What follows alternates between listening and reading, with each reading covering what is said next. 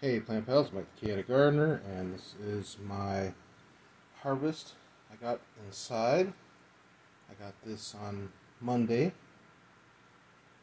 Some uh, cherry tomatoes and some of the red fire peppers that are still going like crazy.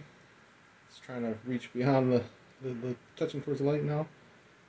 And I got some herbs earlier, but I forgot to show that. I froze them.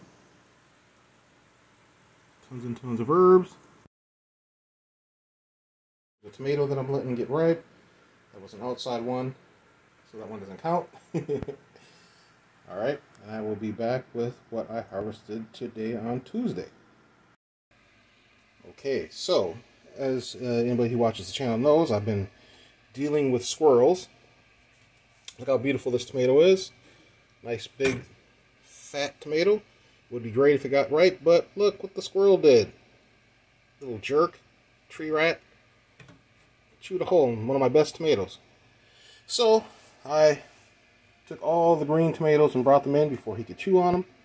I saw some are, a few of them are like cat face. Whoops, uh, just dropped one. Oh, good, didn't fall on the floor. So this, here's a nice one. This is a split. This is a cat face tomato. still good. The ones all over. This is this big daddy here. Nothing wrong with him. So, well, there's a hole there, but it's fine. It's been healed up. But yeah. So, Got a couple decent ones. I'm to let these get ripe inside so that the, the little rat can't get to them. Here's some kale I got for a salad tonight. There's extras I couldn't stack up on the uh, other ones. I had so many. There's a nice Roma. Again, let this one get ripe inside before the squirrel gets to it.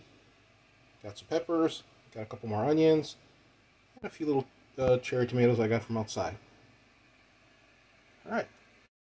So, that was my harvest on Tuesday. And the one the squirrel chewed on, which is going in the garbage. Unless I like, I wonder if I can save seeds from it. If I let it get ripe, and I save some seeds, maybe I can grow it again next year. Yeah, we'll see.